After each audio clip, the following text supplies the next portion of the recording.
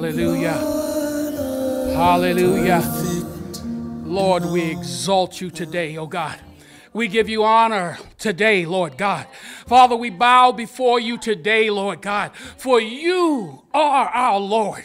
You didn't just save us, but you watch over our lives. Everything that we need, everything that should be in our lives, you supply, Lord God. Lord, we are following hard after you, and we are humbled to be your servants, humbled to be called by your name, humbled to be called into your house, humbled, Lord God, that you would share this burden of saving the world with us, oh God. Lord, we don't know why you made it that way, but you have called us into the kingdom, Lord God. God, so that someone else will know about you. So tonight, Lord God, we're going to lift up your name. We remember what you've done. We understand the depth of your suffering, but yet in it, Lord, there was still love. All day, still love. You gave your life that we might be saved. So, Lord God, we say thank you for it. Thank you for it. Thank you for it. Thank you for it. Lord, we are going to learn from you. We're going to understand from you, Lord God, that when we face the situations in our lives, we turn our attention towards you. What you did, God, we're asking for the strength, for the courage, for the understanding, for the wisdom, for the anointing to follow after your steps. For you, God, showed us how to be saved. You showed us the way back to the Father. So, Lord, this night, Lord, we're asking that you would pour out your spirit, Lord God. Lord, that you would move mightily in this place, Lord God. Lord, for your name's sake, for your glory's sake, Lord God. Lord, you, Lord, you, Lord, deserve to be worshiped. You deserve to be worshiped. You deserve to hear praises from your people. You deserve, Lord God. Lord, and we understand from your word that every knee will bow and every tongue confess that you are Lord. And we bow now and we confess now that you are Lord. We give you our all, oh God. And our desire, Lord God is that whatever time we spend in your presence, oh God, Lord, that you, God, will be pleased. Lord, that someone will hear that there's a people that love their God and are loved by their God. Lord, and be inspired to worship you, inspired to seek after you, for you alone are God. So bless this service, Lord God. Bless your people, Lord God. Bless every speaker, Lord God. And we won't fail we won't fail to give you honor because of it. We won't fail to thank you for it. We won't fail to lift up your name, oh God, for you are our God. Amen. Amen. Amen. Amen. Hallelujah. Hallelujah. Welcome to our Good Friday service, Lord. Go ahead,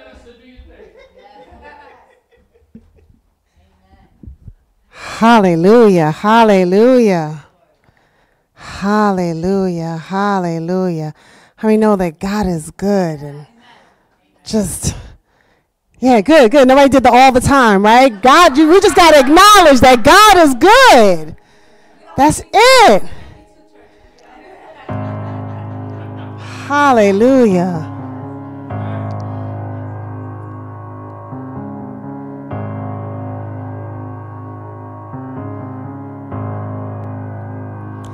I love you, Lord, for your mercy never fails me, and all my days I am held in your hand. From the moment that I wake up until I lay my head, oh, I will sing of the goodness of God. And all my life you have been faithful. And all my life you have been so, so good. With every breath that I am able Oh, I will sing of the goodness of God. I love your voice. You have led me through the fire in darkest nights. You are close like no other. I've known you as a father. I've known you as a friend. And I have lived in the goodness of God. Cause all my life you have been faithful. And all my life you have been so, so good. With every breath that I am I will sing of the goodness of God. Your goodness is running after, it's running after me. Your goodness is running after, it's running after me. With my life laid down, I surrender now. I give you everything. Your goodness is running after, it's running after me. Your goodness is running after, it's running after me. Your goodness is running after, it's running after me. With my life laid down, I surrender now. I give you everything. Your goodness is running after, it's running after me.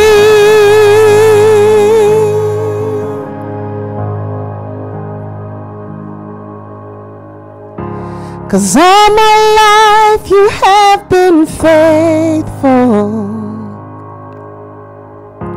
And all my life you have been so, so good.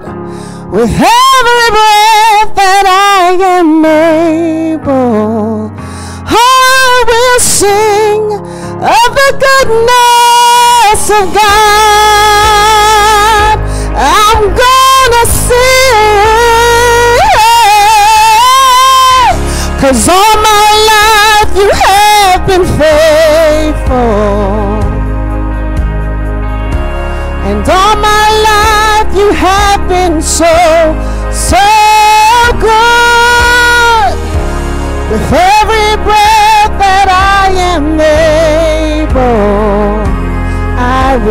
sing of the goodness of God. I will sing of the goodness of God. I will sing of the goodness of God.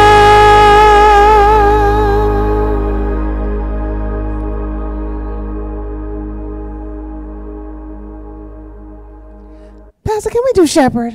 Can I? Can I? Can I? If possible? Okay. it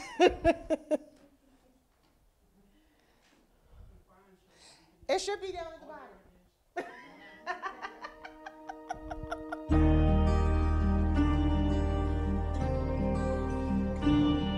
Mhm. All our eyes on you, Lord. All our hope in you, Lord. All our trust in you, Lord. All we want is you, Lord. All our eyes on you, Lord. All our hope in you, Lord. All I trust in you, Lord. All we want is you, Lord. The Lord is our shepherd. The Lord is our helper. Oh, Jesus,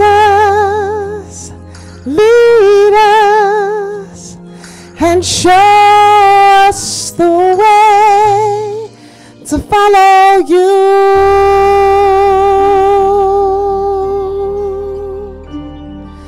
Mhm.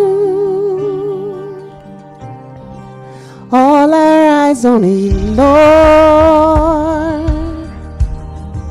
All our hope in you, Lord.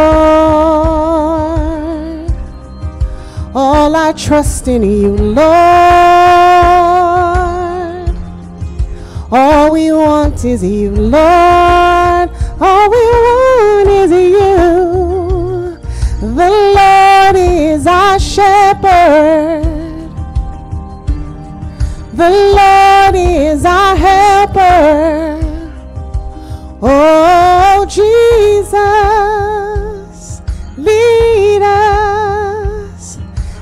us the way to follow you.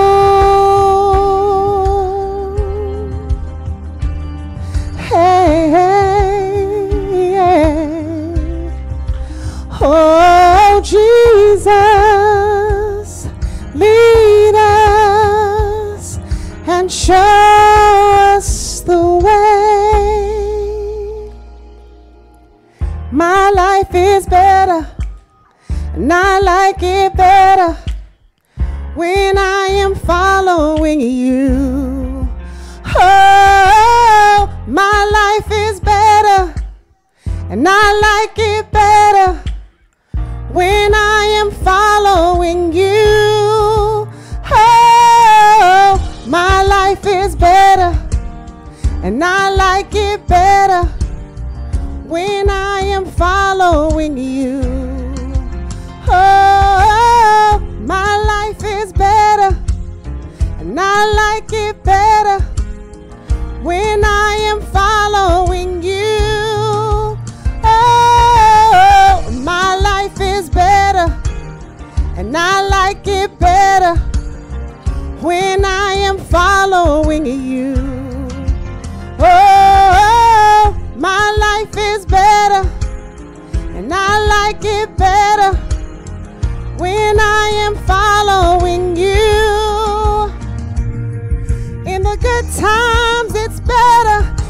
Bad times, it's better when I, when I'm following His word, it gets better.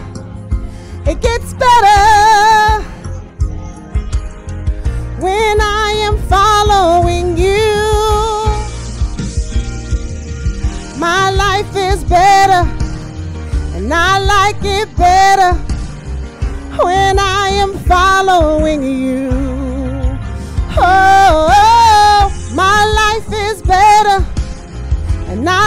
It better when I am following you.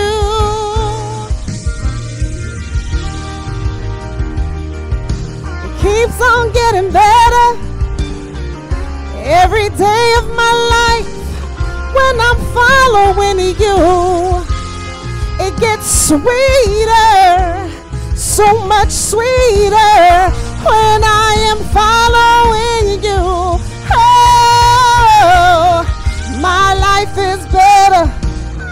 and I like it better when I am following you. Oh, oh, my life is better, and I like it better when I am following you. The Lord is our shepherd. The Lord is our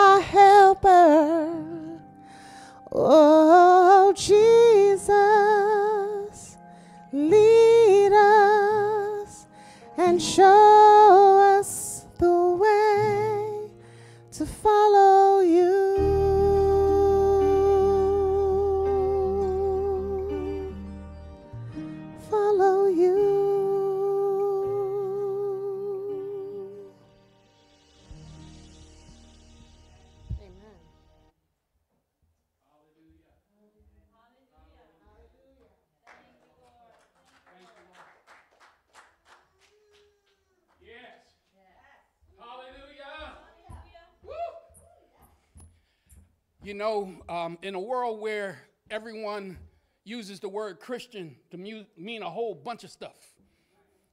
And there's some people that's calling themselves Christian, there ain't no way in the world they read the Bible. And they most certainly don't know who Jesus is. Because they could not do the things they do and say the things that they say and still claim to be a Christian.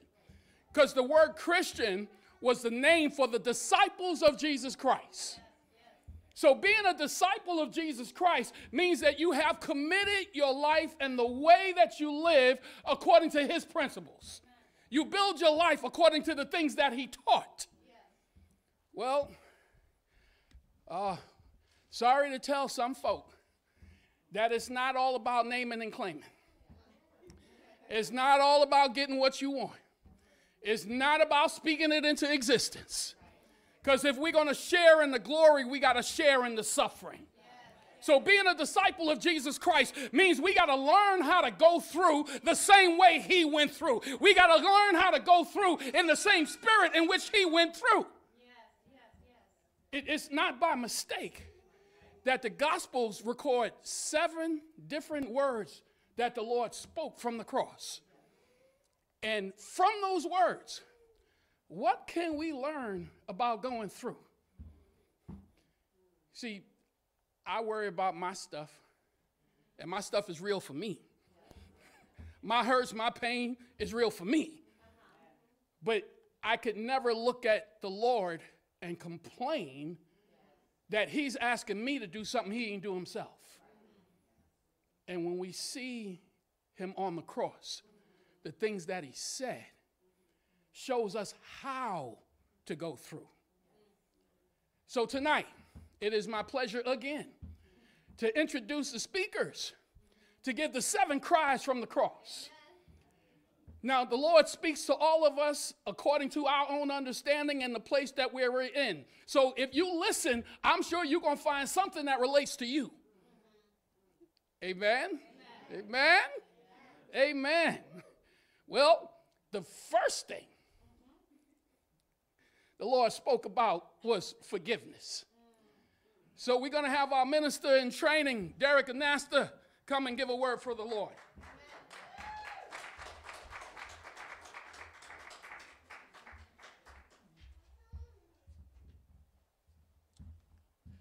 Good morning, church. Oh, good. That's why your nerves nerves are kicking in a little bit. You know. So. Before uh, before I start, uh, when I got the infamous text that we usually get around this time, I was like, "Oh, okay, I must have I must have did well last year that they they're bringing me back." So before I start, just want to start out in prayer. Uh, Father God, just thank you for this opportunity to be here. Father God, just thank you for an opportunity to speak on this momentous week, this momentous seven days that we or have experienced in remembrance, Father God, of all the sacrifices of Jesus Christ, Father God. Father God, just ask that the words that I speak today, that the audience and the church know is coming from you. You have so precious name we pray. Amen. Amen. All right. So, Father, forgive them. So this is uh, Luke 22, verses 33 to 34. I'm reading out the NIV. Um, when they came to the place called the skull, they crucified him there, along with the criminals, one on his right and the other on his left. Jesus said, Father, forgive them, for they do not know what they are doing. And they divided up his clothes by casting lots. So let's just, for a second, just sit and think about how we would feel in that moment. To be surrounded by our accusers, the Roman soldiers, and the crowd who were there shouting to see us nailed to a cross. How do you think you would feel being falsely accused? I know that I would, I would be highly upset. um, knowing all the miraculous things that you have done, for example, the healing of a large crowd, uh, bringing the blind to see, having the lame to walk, and the deaf to hear, that is discussed in Matthew 15, verses 30 through 31. That's just one example of the numerous um, miracles and sacrifices that Jesus Christ made. Um, I can honestly say that I can think of every feeling or emotion in the book, but forgiveness in that specific situation wouldn't be one of them. but as we focus on Jesus' state of mind, we see that instead of thinking of the predicament he was in, he displayed understanding, Yes. which is only a depth of what we could only aspire to have. He recognized that all those people in the crowd were either acting out of ignorance, fear, or manipulation of others. Oh, yeah, yeah, yeah. Jesus' forgiveness wasn't about condoning his accusers' actions, but it was about recognizing their humanity and their capacity to be redeemed. Jesus, even in his suffering, extended an olive branch of love, which is a testament to the boundless nature of God's grace. I'm pretty sure all of us could sit here and think about all the scenarios where we felt like something was done wrong to us, where we were the quote unquote victim, where we felt in a position where we just focused on all the wrongdoing that was done to us. But in this situation, no matter what Jesus went through, he still put himself in other in the other shoes. He had empathy. He provided grace. He provided understanding. Um, so I would just want everybody to understand that this passage is just more than a historical account. It's a call to action for all of us. Yes, yes, yes, yes. I asked the church, how often do we hold onto resentment, allowing bitterness to fester in our hearts? I know I've definitely been one of those people. Um, better yet, how often do we struggle to forgive those who have wronged us? My belief is that Jesus' act of forgiveness is a challenge. It compels us to confront our own capacity for anger and resentment. Uh, it asks us to see the world through the lens of compassion, to understand that people make mistakes, sometimes even grave ones. Now, don't get me wrong, this doesn't mean blind acceptance at all. It means acknowledging the hurt while choosing to release negativity. Uh, it means to replacing resentment with openness to reconciliation. Uh, now, I'll be the first to admit, following Jesus' example is not always the easiest thing to do.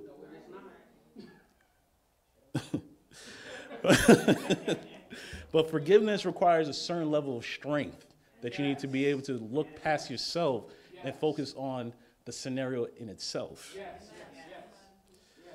But forgiveness also liberates us.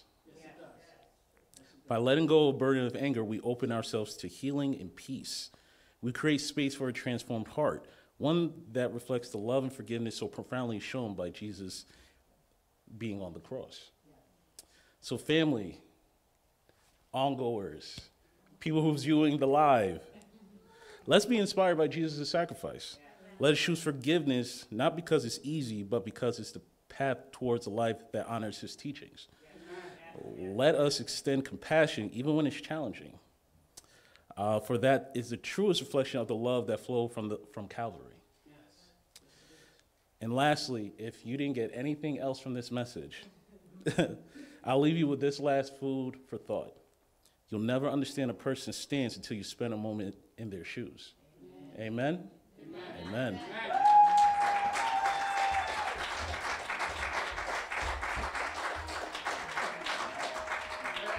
Hallelujah. Hallelujah. Thank you, Lord Jesus. Woo. Woo. Woo. You know, you know when somebody been through some stuff. when that's when that word get real. Hallelujah. Well, we continue to follow our Lord's example that not only did he show forgiveness, he actually remembered someone else. It wasn't about him. He told the criminal on the cross, Today you will be with me in paradise. So we're going to ask our brother Malachi.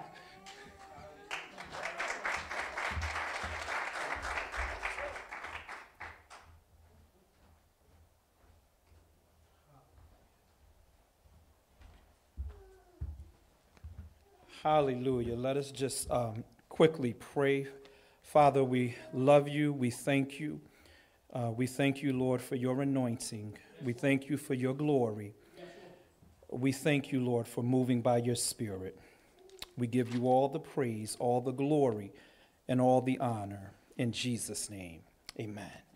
Hallelujah. So I am going to uh, be speaking from uh, Luke chapter 23, verses 42 through 43.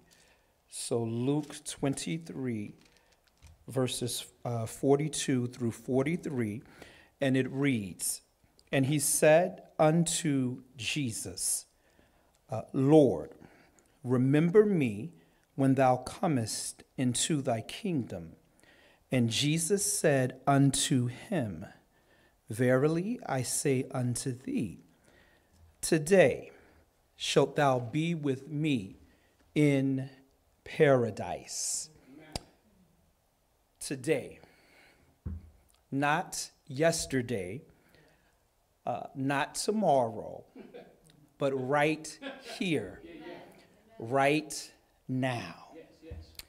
Hebrews 11 1 says, Now faith. Now faith is the substance of things hoped for, the evidence of things not seen. Psalms 118, verse 24, uh, it says that this is the day that the Lord has made, and we will rejoice and be glad in it. First Corinthians chapter 6 and verse 2 says, Now, right now is the time of salvation. It's interesting that Jesus would say, Today, Jesus, you're hanging on the cross with me. It looks like you're going through the same thing that I'm going through. The other uh, criminals they were laughing and mocking, but this particular criminal saw something significant, even in uh, the depravity and the suffering. I imagine that he must have looked into the eyes of Jesus and saw the love. Hallelujah. When he heard, hallelujah, him forgive those who were uh, attacking him and crucifying him, something touched his heart. Hallelujah. And he, hallelujah, acknowledged the Lord, and the Lord acknowledged him. Uh, just whosoever, the scripture says in Romans 10, calls on the name of the Lord shall be saved.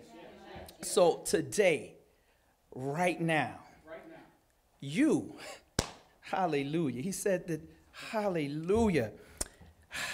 He identified, hallelujah, that today that you and you and you and you will be with me in paradise. Mm, I think of John 3:16 for God so loved the world that he gave his only begotten son that whosoever believeth in him would not perish, but would have everlasting life. For he didn't come to condemn the world, but that through him the world might be saved. That's Mm. He did it all for you. yes If you were the only person, mm, hallelujah, on the planet, he would have done it for you. Mm. So this day, right now, you will be with me. Hallelujah. Oh my God, that's encouraging to me. Hallelujah. In other words, you have VIP status. oh, I can remember sometimes uh, b- before Christ when I was with going into certain venues, hallelujah, was with certain people, and that I ordinarily wouldn't have been able to get into the venue, but he with me. Mm, hallelujah. You're with Christ. Ah, you are with Christ. You are with me. You are getting into paradise on my ticket because you can't get in any other way. You are with me. Uh, uh, he's with me. this is one of my own. Glory be to God. Ah, he's saying, I got you, mom. mm, mm, mm. Security. Hallelujah. Hallelujah. Oh, hallelujah. Hallelujah. In Hebrews 13 and 5, he says, I will never leave you nor forsake you. Amen. Hallelujah. I will be with you, lo, even to the end of the age. Mm. So this day, today, you will be with me in paradise. Ah, ah, paradise. Yes, girls. Hallelujah. Paradise. Ah, now I've been to, as the locals say, Hawaii or Hawaii, and it is beautiful. Hallelujah. For somebody, paradise may be Jamaica, Bermuda, the Dominican Republic, Puerto Rico, Aruba, Fiji, the Bahamas, Bora Bora, Tahiti, the Virgin Islands, a lot of different places. Now, I said I wasn't going to get too into a lot of theology, but the Greek word here for paradise is Strong's uh, 3857, and it's paradisos. Paradisos. Paradise is a place of blessedness. And here's, here's what's interesting.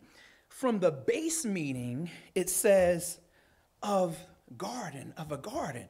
So is there's there's questions in some theologians' minds. Is this the Garden of Eden? There's some theologians in their scriptural uh, context in Luke 16, 22 that speaks of this being Abraham's bosom. It was the place where the Old Testament saints went um, prior to Christ being crucified and, um, and ascending and, and placing his blood on the mercy seat of heaven and opening the door of access for the saints to go to heaven. But here, here here's the thing whether uh, we don't have to get that deep. here's the thought I had in regards to paradise. Mm. Whether the uh, Bahamas, whether Hawaii, Tahiti, Imagine your ideal paradise location. He says, This day you're going to be with me in paradise. God, this is what he really wants you to know. In Psalm 16 and 11, the scripture says this Jesus, ah, I feel you. Thou wilt show me hmm, the path of life.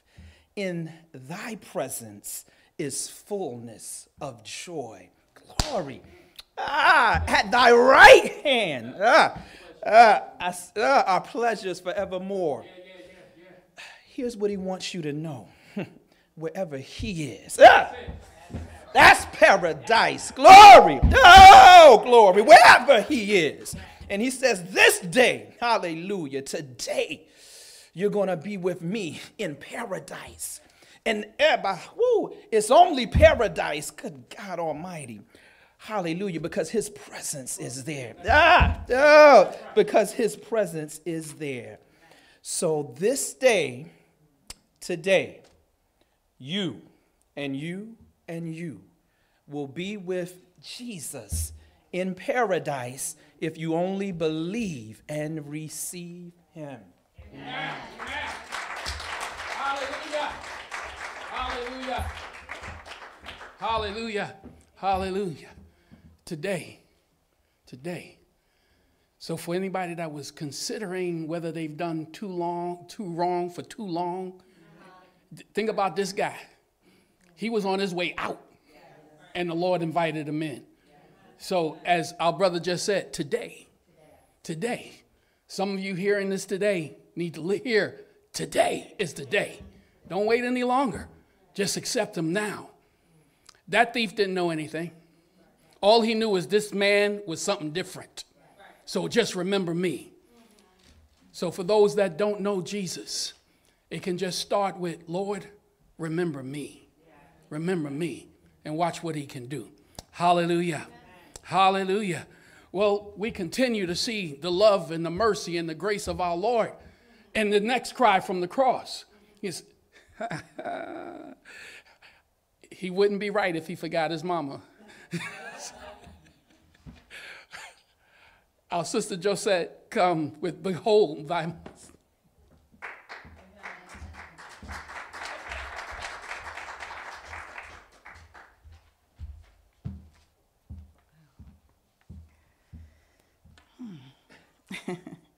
God bless you all. Amen. And thank you, Jesus. Behold thy mother. John 19, 25 to 27. And I'll just read, the, read these verses. Now there stood by the cross of Jesus his mother, and his mother's sister, Mary, the wife of Clopas, and Mary Magdalene. When Jesus therefore saw his mother and the disciple whom he loved standing by, he said to his mother, Woman, behold your son. Then he said to the disciple, Behold your mother. And from that hour, that disciple took her to his own home. As I read and reflected on this scripture, I began to imagine Mary's emotions Yes, yes. as she looked across at the son that she gave birth to being crucified on the cross. I mean, it's not even something you can imagine. I started thinking back about how it all began for Mary. She would have been about as young as 13 or 14 years old, engaged to Joseph. Back then, it was a legal contract to marry Joseph. And the angel Gabriel appeared to her, saying, Rejoice, highly favored one. The Lord is with you. Blessed are you among women. And Mary was probably wondering, What in the world is going on? How can I give birth to a son? I'm a virgin. And he will be what? He will be called the Son of God? I have an agreement to marry Joseph. and then she just believed it and said, Behold, the maidservant of the Lord. Let it be to me according to your word. I think that the Holy Spirit gave her the revelation of the truth that was said to her. Amen. And her response was to praise God, Amen. Amen. Amen. saying, My soul magnifies the Lord, and my spirit rejoiced in God my Savior. Yes, yes. Such great faith. Then I thought about how Jesus, as a young boy, how Mary and Joseph could not find him for three days because he was about his father's business. yeah, that's what he told her. That's what he told them. He was found in the temple, sitting with the teachers, listening to them, asking questions, showing a great understanding and knowledge. And then she started thinking of, as a grown man, how he performed his first miracle at the wedding feast of Cana, changing water into, into wine at her request. Yes. Yes, yes. And she started thinking about all the miracles that he performed, that she either saw or heard about, and all the lessons that he taught. But there he was, being crucified on the cross, right in front of her. Mm-hmm. And her heart was broken. And Jesus looked at her and felt her pain. He wanted to comfort her, even as he was in a lot of pain himself. Woman, behold your son. And to John, behold thy mother. And what about John, the disciple that Jesus loved? I used to think that meant that John was Jesus' favorite disciple. Until a few years back, I did some research about it and I read that those words only appear in John's gospel. I was, I was like, what? so, so that was how John chose to refer to himself as the disciple that Jesus loved. And I was like, wow. I mean, that just stuck with me. Why did he do that? Because John believed that Jesus loved him. Simple. He had insight into that supernatural love that Jesus has for us. And he personalized that love for himself. He completely embraced it and he surrendered to that unmerited, unearned favor called grace that Jesus died on the cross to give us because he loves us. He loved us so much. John believed that and, he, and reminded himself of it every time he referred to himself as the disciple that Jesus loved. And there John was, across from where Jesus was being crucified on the cross, with Jesus' mother, where else would he be? But where were the other disciples? Where were the other members of Jesus' family? Well, it made sense that John was there because John was secure and confident in the love of Jesus. Hallelujah. That's what happens. That's what happens when you totally believe and embrace the love that Jesus has for you. You trust Him even when things are not going right for you. Even when you do not understand what is going on, you still trust Him. Even when you stumble and fall, you know He won't forsake you, but will, will be right there to pull you up, pick you up back again. That confidence was stronger than any fear that John might have had of being recognized as one of Jesus' disciples. Yes, yes, yes, that confidence was stronger than any anxiety that he might have felt about what they might do to him. He was there for Jesus, he was there for Mary. Yes, yes. He was already in the role as the son to Mary. Hmm, hmm. He was the only choice to have the privilege of the one to take care of Jesus' mother. What a privilege. Amen. Amen. Amen. We should all have that faith of young Mary. And we should all think of ourselves as the disciple that Jesus loved, yes. like John did. Yes.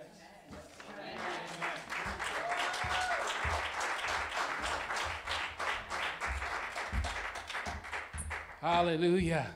John got it. That's why he wrote his gospel as he talked about Jesus being the Son of God, because he got who he really was. Now, I, I agree with you, sister, 100%. I'm claiming mine. I know Jesus loved me. I know I'm the disciple that he loved. Now, y'all got to work that out for yourselves. and there, there is a case to be made that, well, John, out of Peter, James, and John, John was the only one that claimed that he was the disciple that. So we don't know what those conversations was like 2,000 years ago. But somehow he got the impression, I'm the one that he loved. I'm the one that he loved. And when he had to leave his mama with somebody, he left him with the one that he loved. So. Hallelujah. Hallelujah. Now, as we suffer, as we go through, even when we come out of ourselves, and look for everybody else, there comes a time when it's just you and God. There comes a time when you need to have those really hard conversation with God about what in the world are you doing? Well, the Lord showed us that's what happened. He said, My God, my God, why have you forsaken me? Our sister Patty Genera.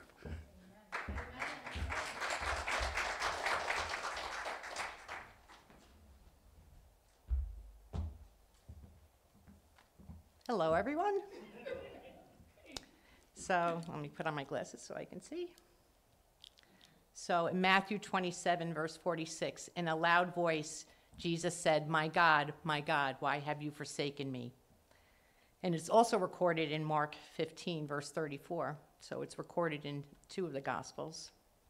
I know most of you have heard me say that the study of Jesus' last days have been very intense. The betrayal, the shady trial, the crucifixion, the death, and the burial. It, it was, it, it brought a new understanding to me. The amount of suffering he endured willingly while having the ability to stop it at any time has humbled me and often brought me to tears. I am undeserving, yet he did this all for me. He did this all for you. So Jesus' cry on the cross occurred on the ninth hour of the day, about three o'clock. Darkness overcame the whole land as the sun stopped shining. The curtain of the temple was torn in two. There was a mighty earthquake. The tombs of the saints broke open. Surely this was not a normal event. As a side note, we're having a, a solar eclipse on April 8th. I did a little research. Normal time for solar eclipses are two to five minutes, not hours. I'm just saying. Just saying. Upon meditating on crucifixion, I thought of Jesus' other words because they need to be taken in totality. Yes. Father, forgive them, for they do not know what they are doing, showing his tender mercy towards us all.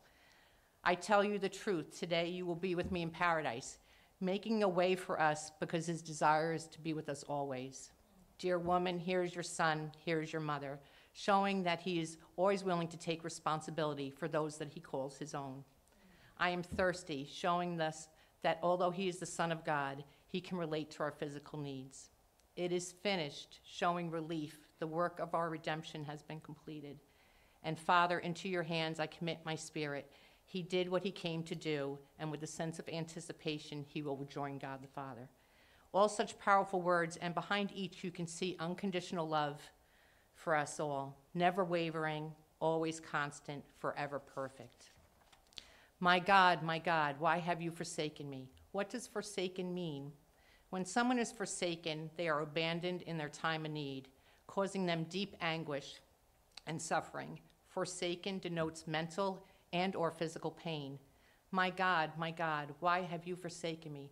Jesus is not crying out to an unknown entity into the sky. His cry is to his Father. His cry is possessive. My God, yes. my God. Yes.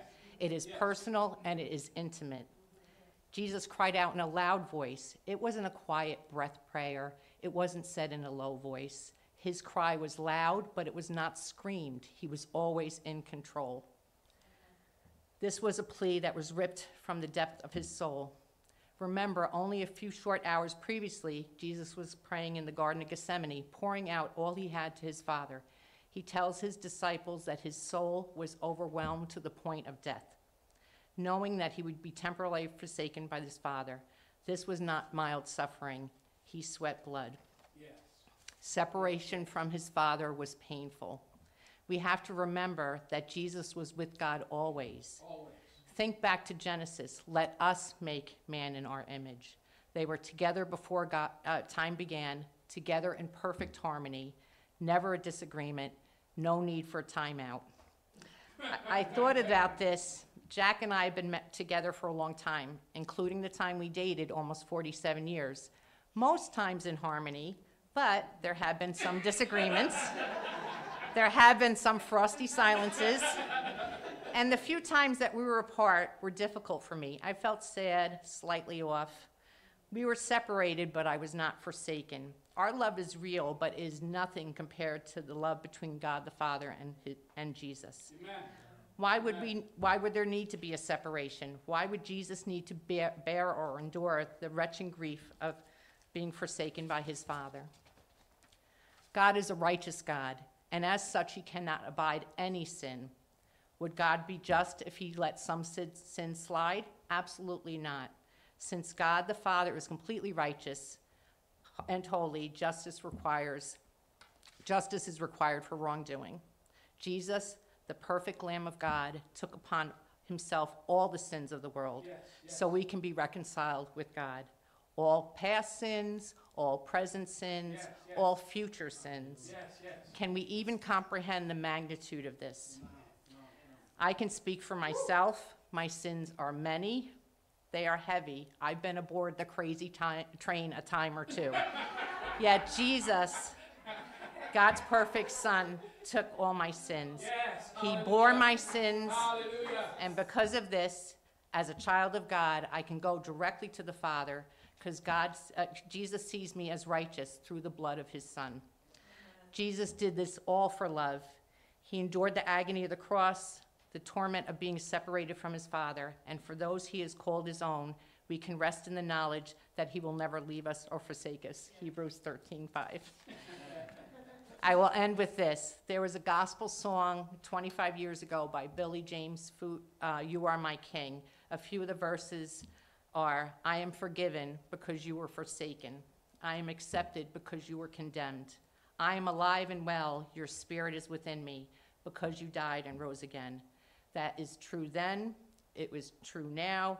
It is true forever. Thank you, Jesus, for your love for me and for your love for all of us. Amen. Amen.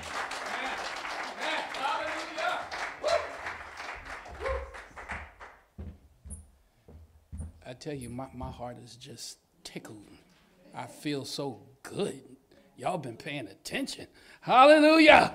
Thank you, Jesus. Thank you, Jesus. Now, just in case somebody thought that this was some fairy tale that was made up, the Lord expressed his humanity. For this was a flesh and blood man who had been hanging on the cross for over six hours at this point. So he said, I thirst. Uh, Sister Sharon Morrell.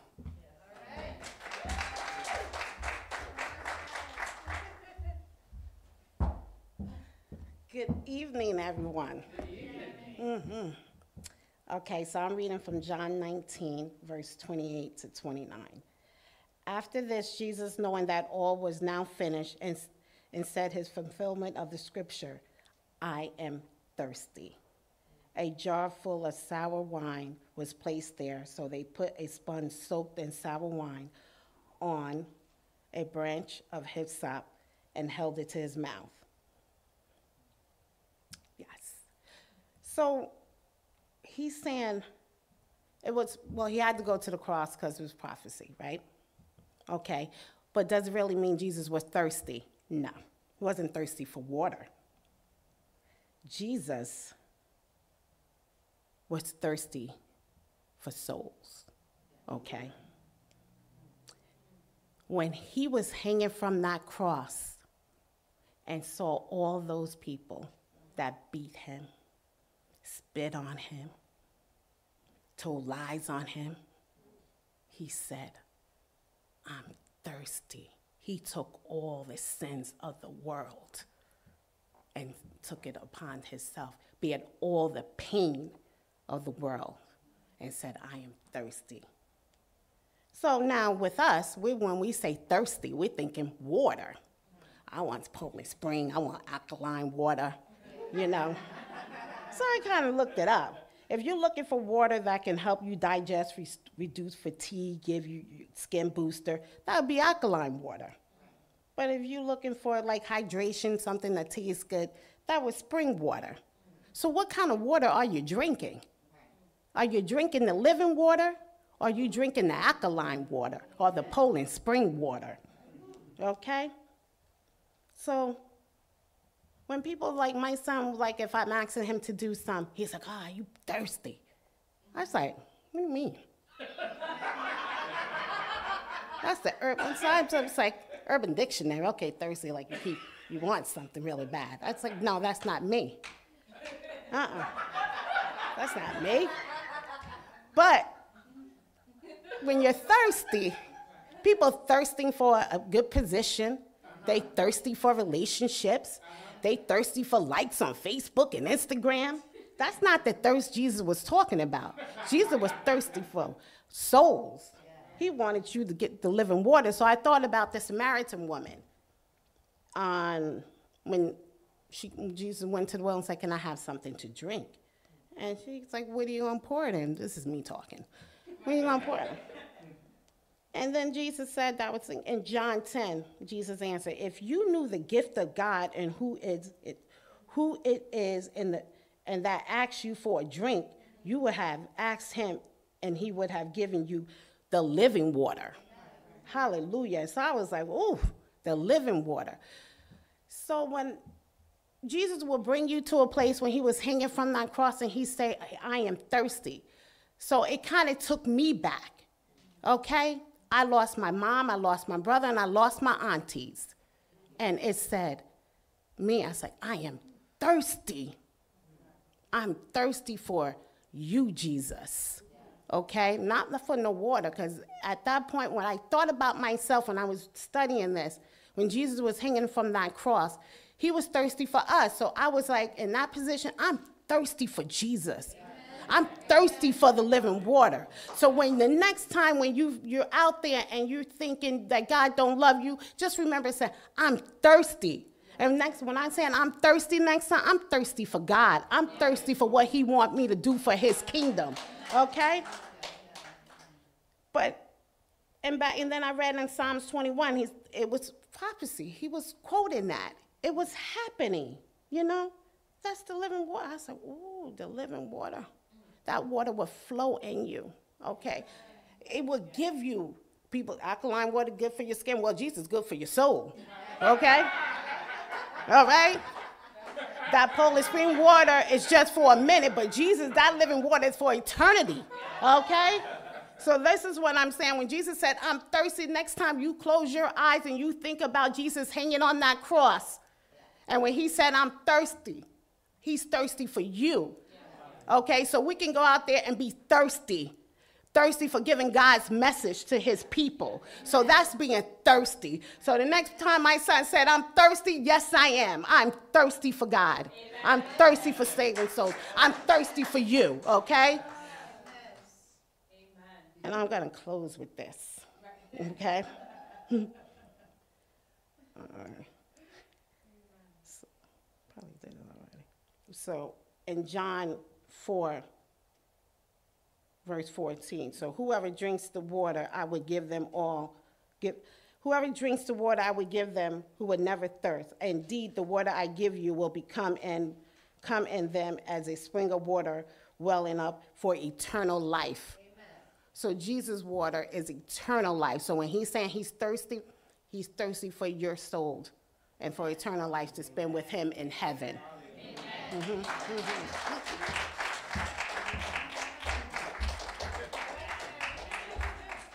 Hallelujah. Hallelujah. Hallelujah. Hallelujah. When we think about what is it that matters most to the Lord, what matters most to the Lord. Hallelujah. Hallelujah. You are that important. I just keep hearing God. I have to remind somebody that you are that important. God cares that much about you. The Lord went through all of this so that we might be saved.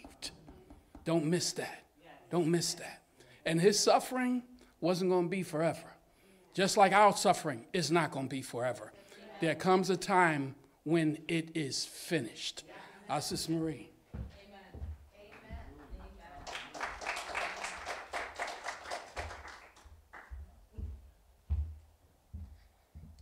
Amen. Amen. I have a quick testimony. So, Pastor, don't count this on my minutes.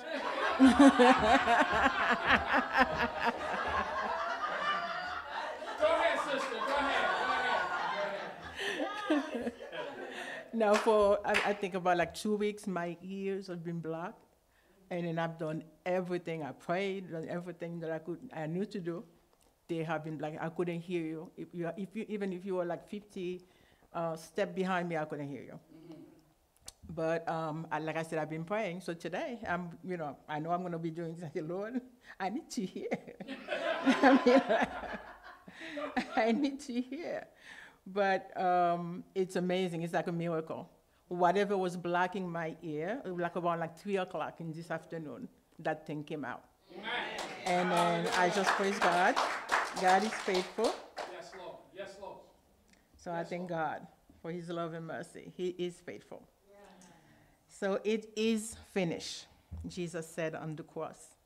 I'm going to be reading uh, from the NIV, John 19, verse 30. When he had received the drink, Jesus said, It is finished. With that, he bowed his head and gave up his spirit. Now, I'm quoting Pastor. Pastor has said that God gave one rule to two people. They couldn't keep it. They couldn't keep it. And I don't think I could have, you know, keeping it either. So let sin came in and separated them from, from the love of God. So at that point, relationship, you know, between God and humanity was broken. So what was undone, you know, could only be repaired with the shedding of blood.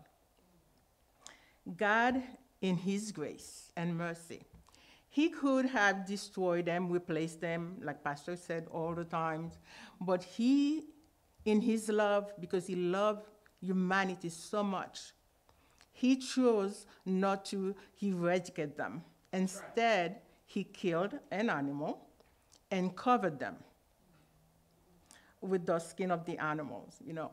But in, um, I, I was, you know, thinking about it, So I read that in the book of Colossians, chapter 2, verse 17, says that the ceremonial law was the shadow of the things to come. That's right.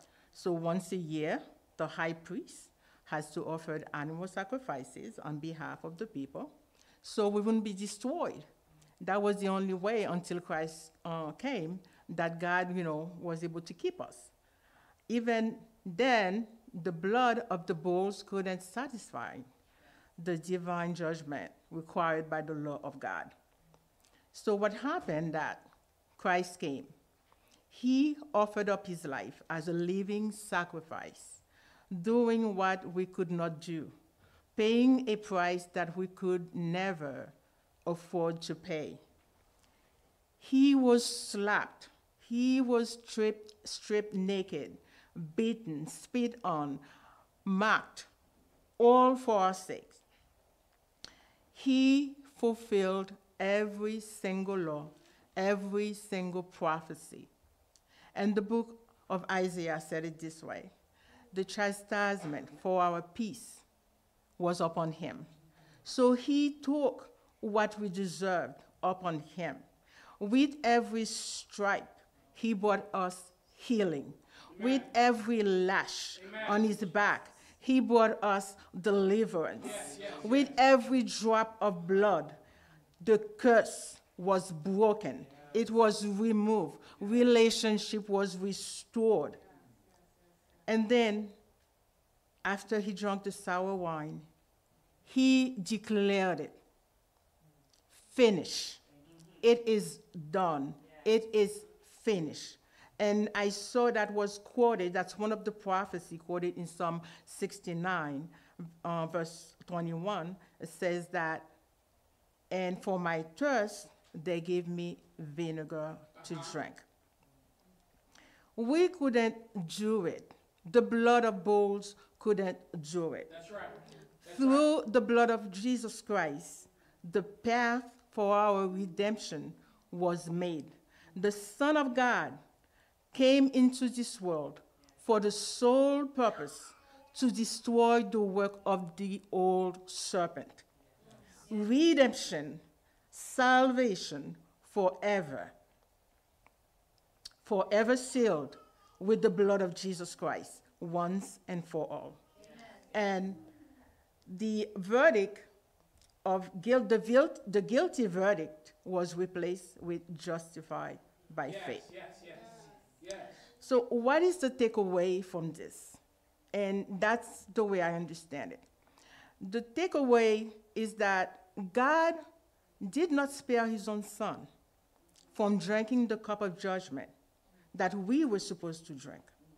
Instead, he gave him power, he gave him strength to overcome it. In the same way, think about it, God does not always remove our struggles. He does not remove uh, always remove our challenges, you know, but He gives us strength and courage to overcome every single struggle. And then, in His power, we can stand. In His might, we have power. Yes. Amen? Yes. Amen.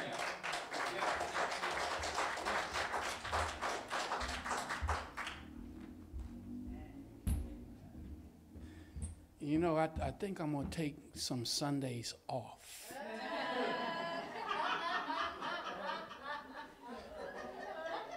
and let the Lord use you. Let the Lord use you, church. Let the Lord use you. Hallelujah. Hallelujah. I mean, what, what tremendous comfort that the Lord finished the work. What tremendous comfort. And when he finished doing what he had to do, he knew where he had to go. So I, I love the idea that they didn't kill him, he just died. Our minister Jack told us that a few years ago. They didn't kill him, he just died. He chose the moment, I'm gonna die now. They did everything they did, but he didn't die until he was actually ready to die. And before he did, he said, Into thy hands I commit my spirit. I'm Minister Ketsia.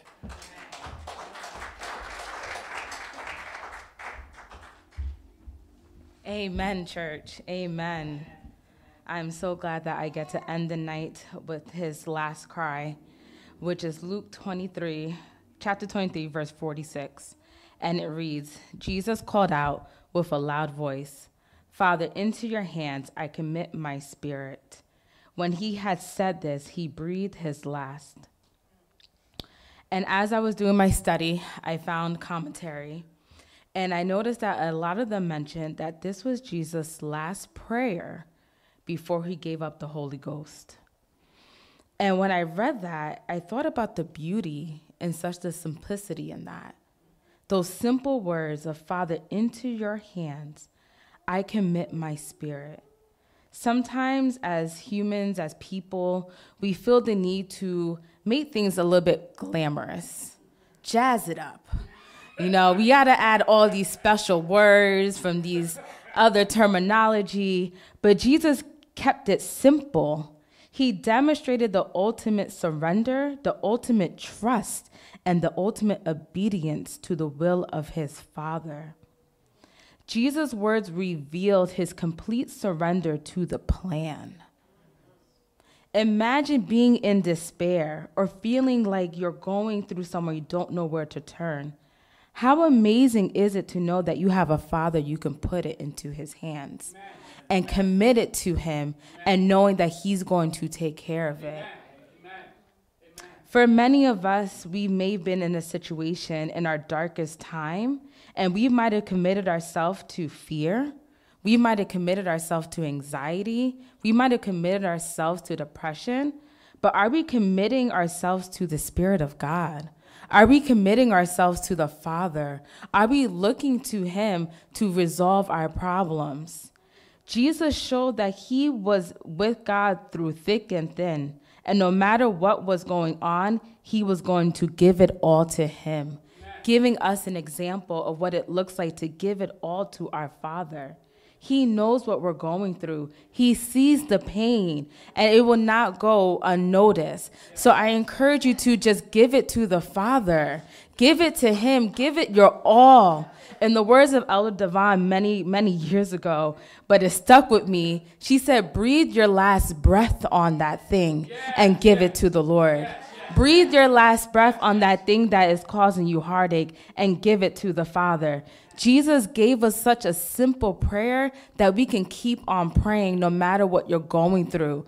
A simple prayer, but the beauty in knowing that we serve a living God that will take care of it. A simple prayer, but it can bring rest to your soul, Amen. knowing that it's going to be done, Amen. that it's going to be taken care of. We serve a God that knows what you're going through. We serve a God that sees your anguish, your cries.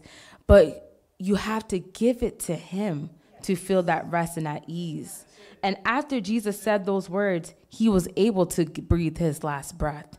He was able to know and, and give us um, acknowledgement that it is in the Lord's hand. He didn't whisper it, he didn't say it quietly to himself, but he said it out loud. And there is power when we say things out loud. There is power in letting the enemy know that he has not gotten one over you. There is power in letting the enemy know I'm giving it to the big man upstairs. And once you give it to the big man upstairs, the devil can't do nothing right now because your father's coming down to take care of it, right? Your father's coming down to handle business. And when Jesus said it with a loud voice, he was letting those people know my father's coming down to take care of business. It is done. This life that you were living, these traditions, it is finished. I had breathed my last breath. Like Pastor Jack said, he gave up the Holy Ghost, right? They didn't take it from him, he gave it up. He let us know that it was done, that he has completed the will of the Father. And he these words continue to encourage us in this walk that when we find ourselves feeling like we're at the cross, give it to the Father. Put it in his hands. Continue to be encouraged by the cries of Christ. These seven cries are not meant to bring us despair, but it's meant to give us great hope and great joy. It is, it is a reminder that we will be victorious at the end of it, no matter what we got going on. Jesus died for us, for our sins, so we didn't have to suffer. He did it for us. Yes, yes. So, in the midst of our trials and tribulations, commit your spirit to Him today. Commit your situation to Him today. Commit whatever you got going on, whether it's your loved ones, your children, your spouse, your friends. Commit them to the Father, and He will take care of it. Breathe your last breath and be done with it. And rest assured that the Father will take care of it. He got us tonight. He'll guide us forever until our last day. Just continue to walk that faith. Continue to be encouraged. Continue to look back at the cross as a reminder that God loves us. Amen. Amen. Amen.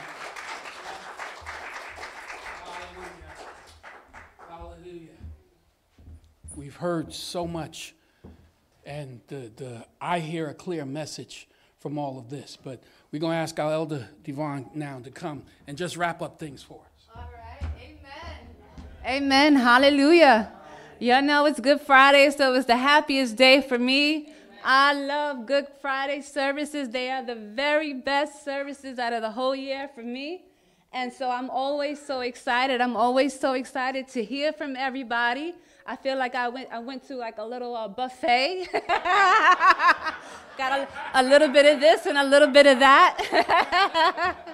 Amen. And I was just thinking, like, wow, why do we have to keep waiting for Good Friday to, to, to do this and to hear everybody speak? But the pastor said he's taking some Sundays off. So all of y'all that, you know, had a turn, just prepare yourselves, right?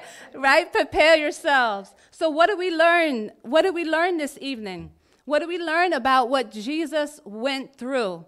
Brother Derek said that we need to think about the wounds that we have experienced, right? Think about those moments where we have been, been injured and what did we feel, right? He said, he challenged us.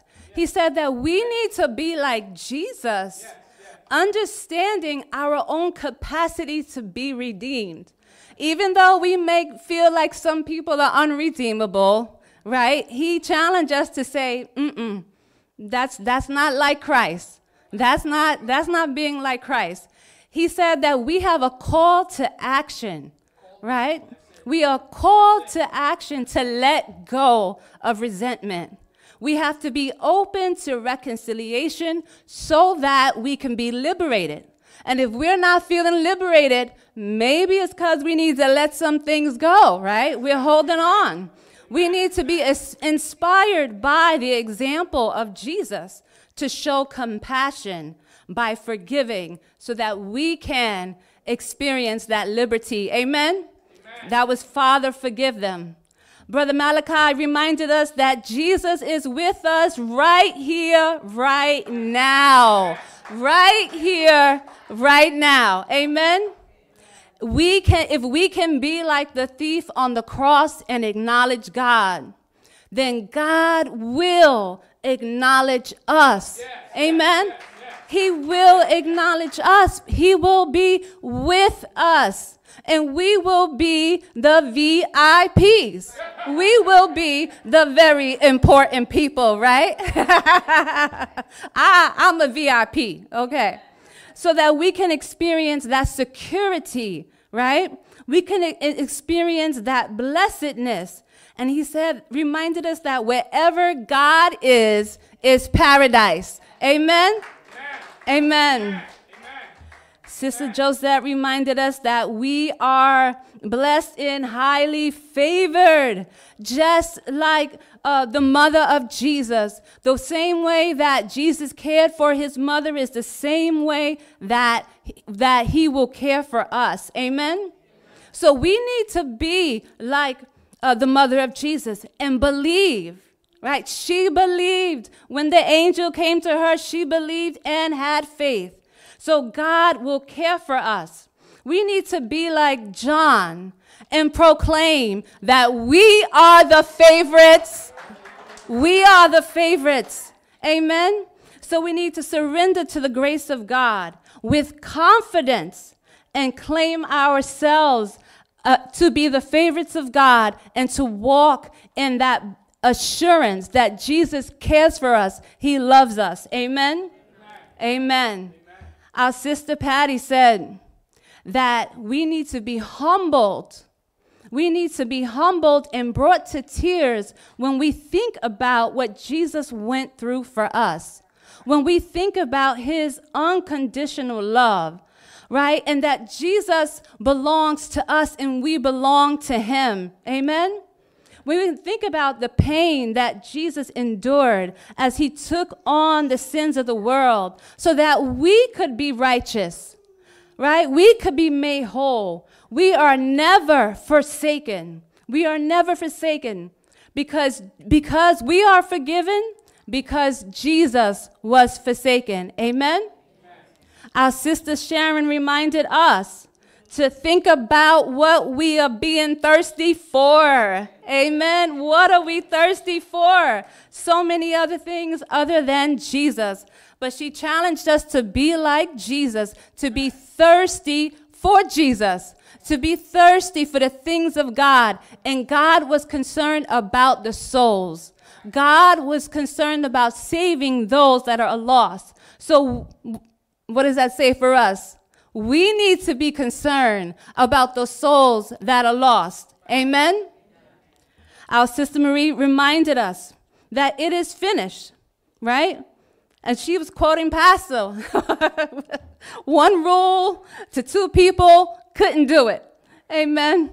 She reminded us that that sin of Adam and Eve separated us, separated us from God and that the blood of the animal sacrifices could not save us. So Jesus became that sacrifice for us. He took on that suffering, and Jesus destroyed the work of Satan. And he became that perfect sacrifice once and for all once and for all. We don't have to keep going into the temple again and again to make the sacrifices. It's once and for all. And because of that, we can rejoice that we are no longer guilty. We are justified. And in that, we find strength. We find courage and we find power because we have been redeemed. Amen. Amen. Amen. Our minister Kessia reminded us that we need to keep it simple, right? We need to keep it simple. Remember the beauty and simplicity, right? And we witness the ultimate surrender. We witness ultimate trust. We witness ultimate obedience when Jesus cried, Into thy hands I commit my spirit. So we need to be like Jesus. We need to say, Lord, into your hands I commit to you every situation. She said we need to breathe your, your last breath, which I forgot that I said that, but amen. So now I'm going to receive it back from you. And I'm going to breathe my last breath on it, right? To bring it to rest and to give it to God. I'm giving it to God. And that in that we experience power. Amen and she said, My father is coming to take care of business. And so we need to stand in victory. We need to stand in confidence. We need to stand strong in the face of our enemy because we have a father who is coming back. And when he comes back, he's going to set everything straight. Amen. Amen. So we can commit it to God. I hope that you were blessed by these cries as much as I was. And look, we should all go out of here rejoicing, fired up, ready to celebrate when we come back on Sunday and just praise God for the blessings and the good things that He has done for us. Amen. Amen. Amen.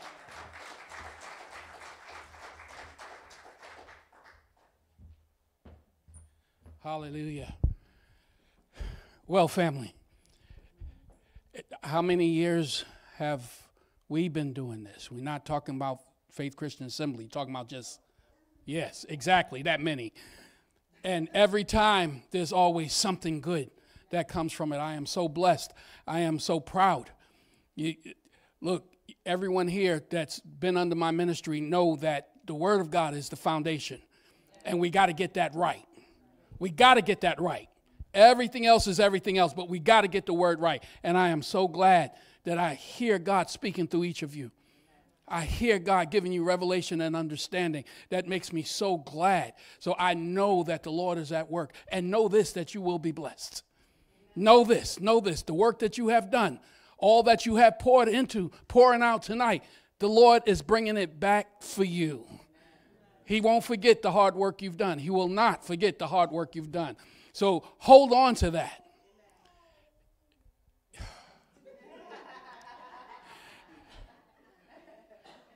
the preacher in the making right there, boy.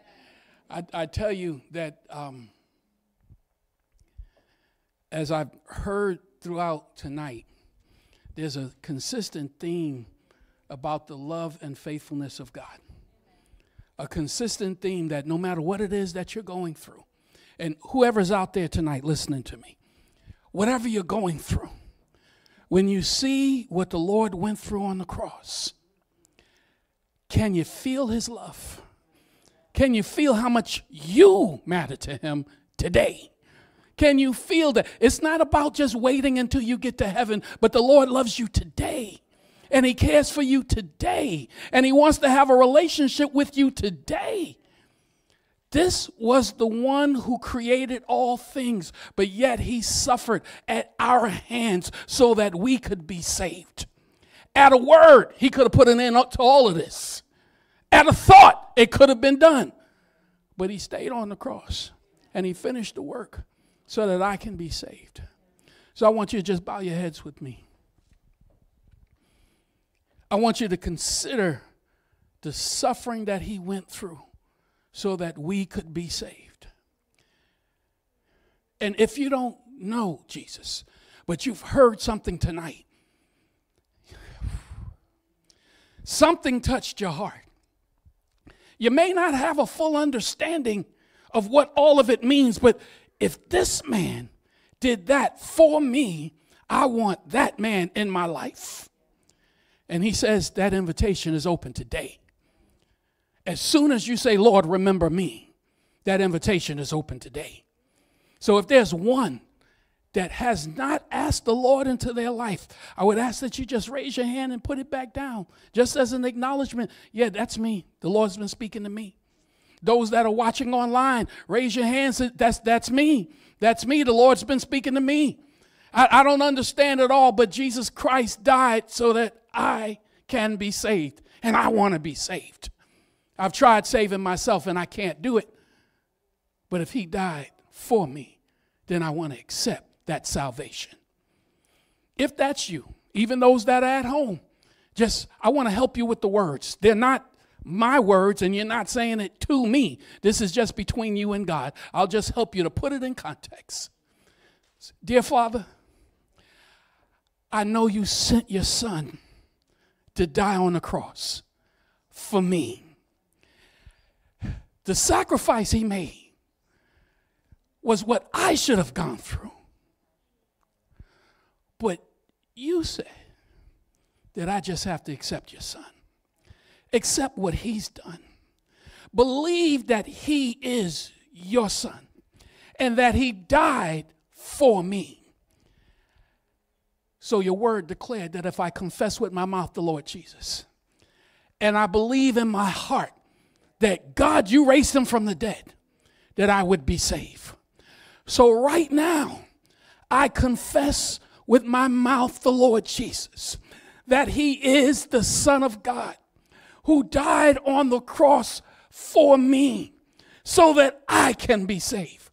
I believe in my heart that you raised him from the dead. And because he is alive, I can live. So I accept that new life right now. I accept that new life right now.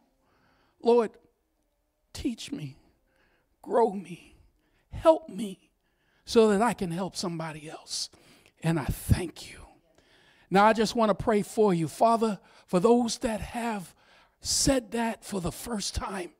God, I'm asking that you, Lord, in your infinite mercy and grace, would just wrap them in your arms, draw them into your presence. Lord, surround them by those that will help them, to encourage them and strengthen them, Lord, and teach them how to follow you. Lord, protect them from the evil one. That would come and try to snatch this from their hearts, Lord God. Build a hedge around them, Lord. Encamp your angels in their lives, Lord. Lead and guide them into all truth. Lord, baptize them in your spirit, Lord God, that they can go forth in power, knowing that you are with them. And I thank you. And I thank you. Now, for the rest of us that have felt like we've been nailed to a cross, that have felt the pain and the suffering of trying to do God's will and not fighting back, not trying to retaliate against the evil world, I, I want you to just stand with me. Just stand with me. If you've been under that kind of pressure, you feel it, you feel it, you feel it. And, and, and you know that if God didn't help you, you would be striking out against all those who's striking out against you. So, Father, we stand before you now, Lord, and we turn our attention towards the cross. We fix our eyes on Jesus. Lord Jesus, if you went through all of this so that I can be saved, if I've got to suffer so someone else can be saved, Lord God, I said, not my will, but your will be done. But Lord, I'm asking you for your strength. I'm asking for patience. I'm asking for help. I'm asking for wisdom. I'm asking for your hand to move in my life, Lord God, that as I face these things, I know you've already gone through it and you have already made a way and you're already been victorious. So, Lord, I'm grabbing hold of my victory right now. I know, Lord God, that the suffering will not be forever. I know, Lord God, that it'll come to a time when I can say it is finished finished. Lord, tonight I'm breathing my last word on this, for I am committing my spirit to you, knowing, oh God, that my time of resurrection is coming. That the new life in you is coming, oh God. Thank you, Lord Jesus, for being this example. Thank you for following the Father's will, completing the work so I can grab hold of you as you have grabbed hold of me. Lord, continue to walk us into our destiny, into our purpose, Lord God, so that your name will be glorified in our lives. And we thank you. Amen. Amen. Amen. Hallelujah. So, Lord, as we leave out of here tonight, we ask that the words of our mouth and the meditations of our heart be acceptable in thy sight. Oh Lord, our strength and our Redeemer. Bless your people, keep them, and bring them back together again. In Jesus' name, amen. Amen.